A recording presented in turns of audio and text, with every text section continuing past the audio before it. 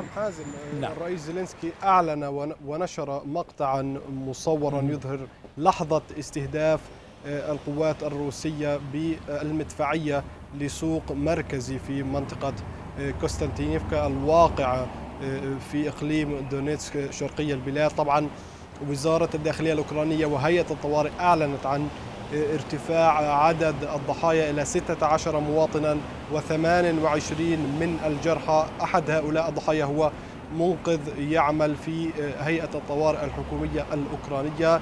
طبعا اندلع حريق كبير على مساحة 30 مترا مربعا حسب ما أعلنته هيئة الطوارئ الأوكرانية.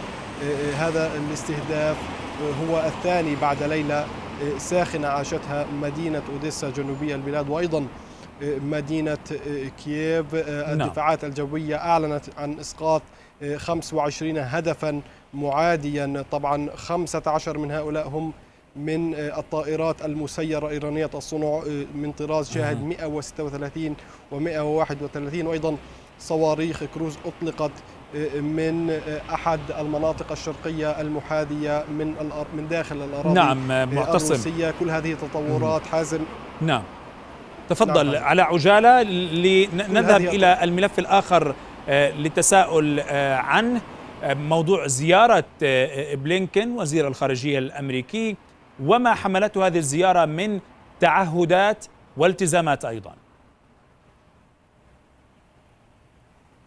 نعم بالنسبة لزيارة بلينكن يعني لا يزال يؤكد بلينكن على موقف أمريكا الداعم لكييف والتقى آه، قبل قليل مع وزير الخارجية الأوكراني ديمترو كوليبا. آه، أكد بلينكن على أن الهجوم المضاد يحقق بعض النتائج الإيجابية على الأرض وهذا وهذا أمر مشجع للغاية بالنسبة لواشنطن. ومن المتوقع أن آه، يصدر قرارا بحزمة عسكرية جديدة تبلغ مليار دولار والمعروف بأن أمريكا وواشنطن هي الداعم الأكبر للقيادة الأوكرانية. طبعا من المتوقع أيضا أن يلتقي الرئيس الأوكراني فولوديمير زيلينسكي خلال الساعات المقبلة. هذه الزيارة تأتي أيضا مع زيارة رئيسة وزراء الدنمارك فريدريكسن إلى العاصمة الأوكرانية. أيضا نعم. في زيارة غير معلنة وقد كانت قد كانت قد ألقت ألقت خطابا في البرلمان الأوكراني بالنسبة لتعيين وزير دفاع جديد تم رسميا حازم إعلان وموافقة البرلمان بأغلبية ساحقة بتعيين روستوم أميروف وزيرا جديدا للدفاع الأوكراني بتوصية من الرئيس الأوكراني فولوديمير زيلينسكي. نعم سنبقى معك في متابعة في في هذا الملف بكل تأكيد والتطورات الميدانية في العاصمة كييف وفي المنطقة الشرقية لأوكرانيا. لكن دعني أذهب إلى يوسف بيجار من موسكو. يوسف كان هناك ردة فعل قوية من قبل روسيا على زيارة أنتوني بلينكين. كيف نظرت موسكو إلى الالتزامات والتعهدات الأمريكية الجديدة بمواصلة الدعم العسكري والمالي لكييف؟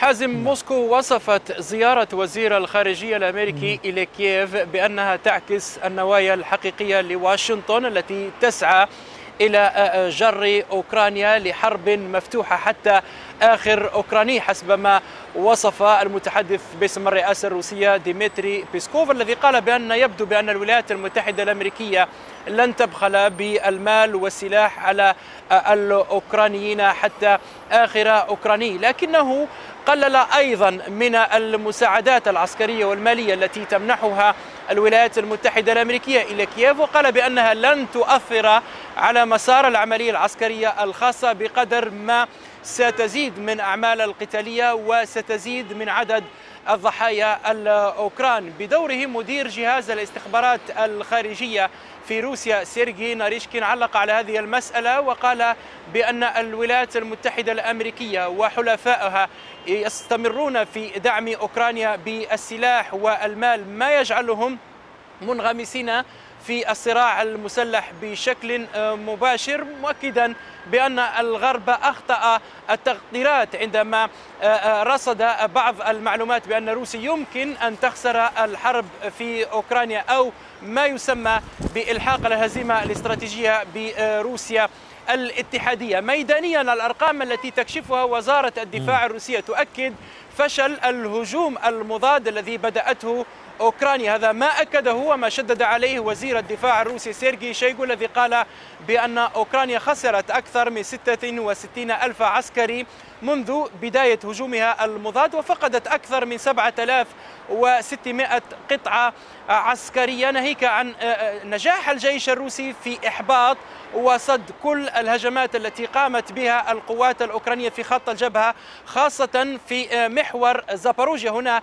نفى شيغو تلك المعلومات التي نشرتها الجهات الأوكرانية بأن القوات الأوكرانية تمكنت من اختراق دفاعات الجيش الروسي في محور زاباروجيا أشكرك جزيل. شكر كنت معنا من موسكو يوسف بيغار ومن كييف معتصم عابد. شكرا جزيلا لكما.